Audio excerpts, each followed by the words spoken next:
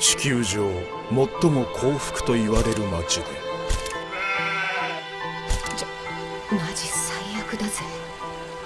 とんでもないもの見つけちまった。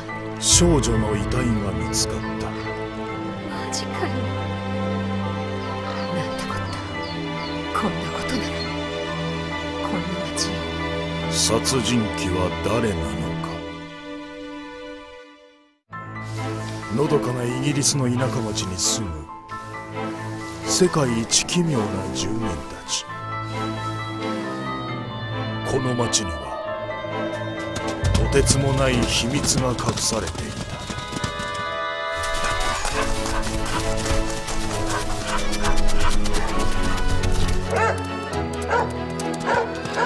人々は夜犬になるそう。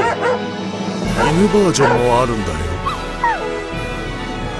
世界一幸福な街はきっとあなたの人生を変える。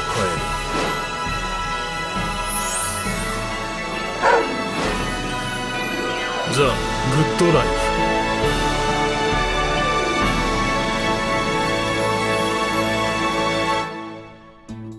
あなたはどっちを選びますか？